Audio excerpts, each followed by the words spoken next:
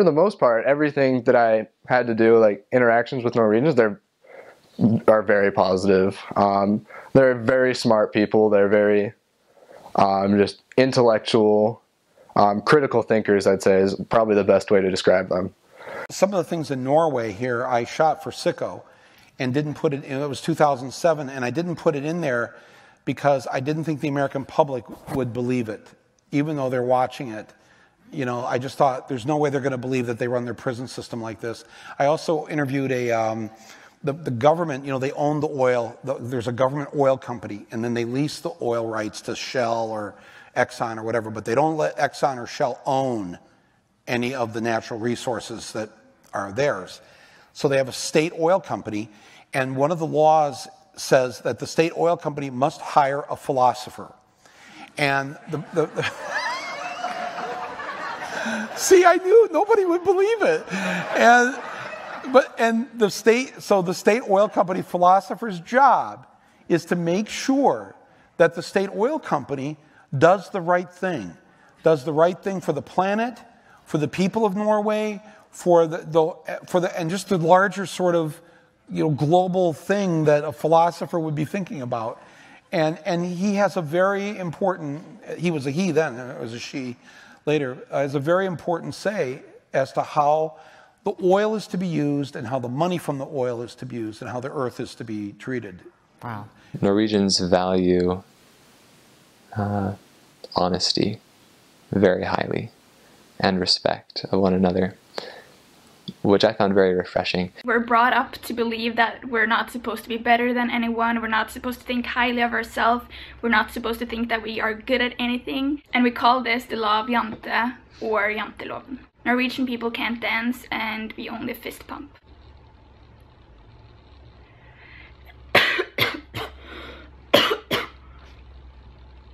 as far as work goes, um, they're morning people. I don't know how they do it, but compared to the US, where most jobs are nine to five, they go from eight to like three.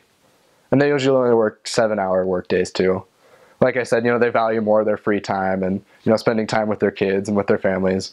So uh, they take they take less money for just you know more time off. Well, crime in Norway, it's almost non-existent. It's ridiculous how safe you feel pretty much everywhere. And there's a possibility you could be my neighbor on my street. Therefore, I am highly incentivized for you to have a good life because I want you to be a good neighbor if it turns out to be that way. And their whole philosophy is driven with how can we make them good neighbors? And I know, it's just it's insane. Uh. You, some of the poor people have it better than the people in the U.S.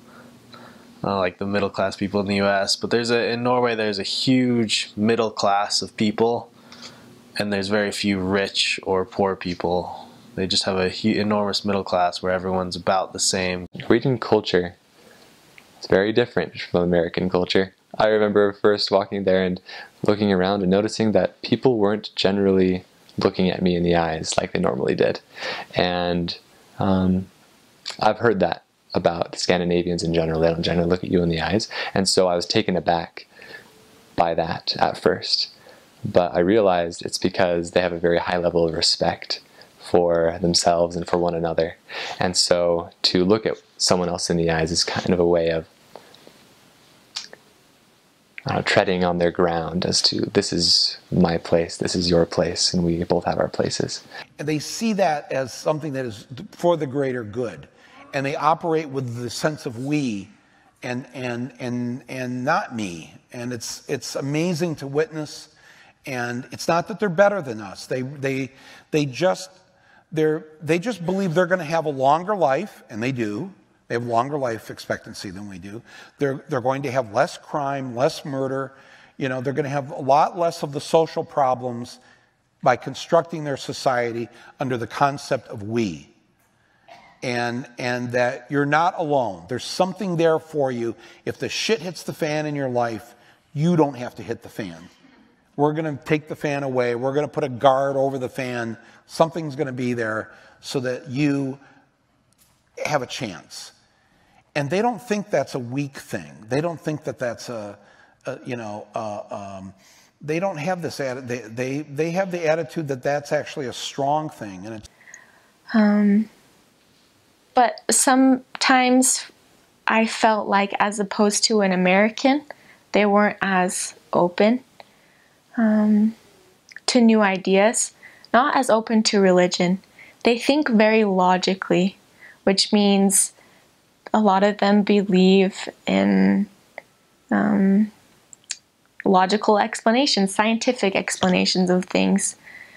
Um, most of them if you ask them what they believe in, a lot of them will say they believe in themselves, which can be a really good thing because Norwegians do a lot of great things. If there's trash on the road, they pick it up. If somebody needs help, they'll they'll do it. Um, they believe in themselves.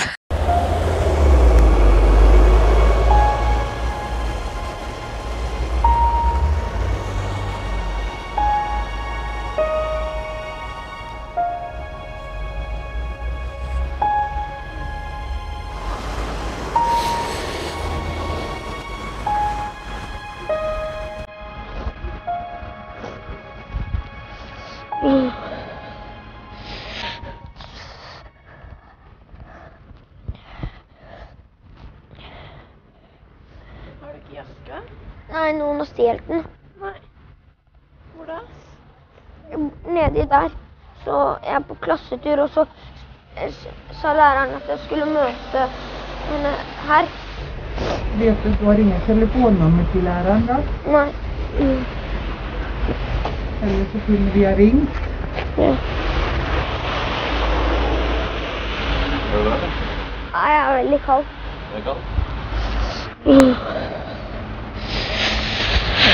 Sausene rundt der? Ja. Hjertelig. Ja. Ja. Du gjør det veldig kaldt, ja? Ja.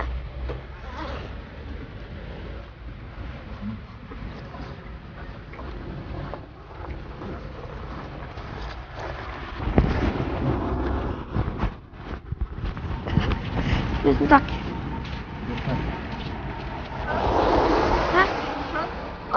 Tusen takk.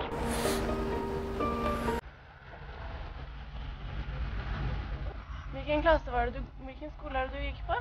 Ramberg. Randberg? Vi er fra Moss. Fra Moss? Å, tusen takk.